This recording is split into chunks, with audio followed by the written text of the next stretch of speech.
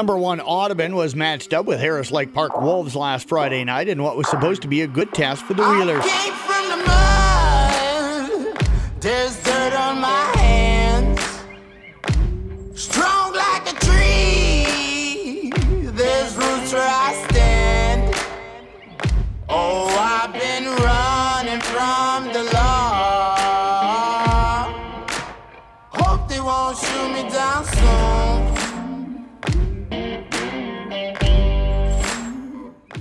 Keep watching as we take this time to thank our sponsors Roselle Mutual Insurance, McFarland Clinic, and Mackey Motors.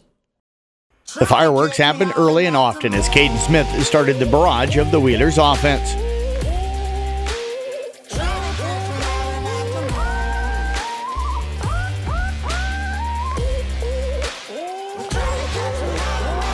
It was just a few possessions later that Harris Lake Park would strike, and a block extra point would keep the Wheelers in the lead. It was yet again Caden Smith that would find the end zone for the red and white, putting the Wheelers up another score.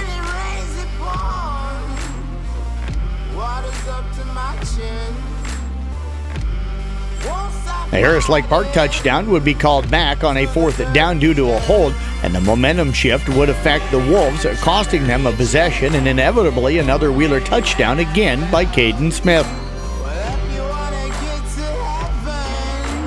The Wolves weren't bowing down quite yet as they would strike late before half, cutting down the Wheeler lead.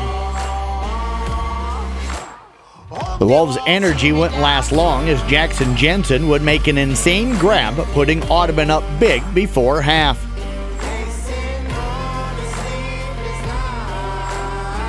The second half would follow the same trend as the first, and a pick six by Ethan Clucky would seal the deal, leading the Wheelers to a first round playoff victory and proving to the state that they are the team not to be messed with. Hey, now, every round it gets a little tougher, okay?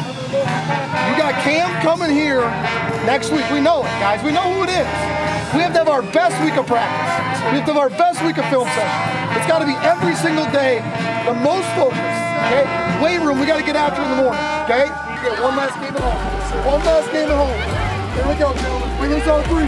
One, two, three. Although they were dominant in round one, Audubon will be faced with a hefty task in round two, the Cam Cougars. The Cougars have battled the Wheelers already this year, losing a heartbreaker to Audubon in Week 9 by just three points. With two area teams left in the hunt for a dome appearance, we shift our focus next week to Van Meter, Iowa, where the number one team in 1A will square off with the South Central Calhoun Titans in what should be a classic. Thank you for following us this year and stay tuned for more high school football coverage.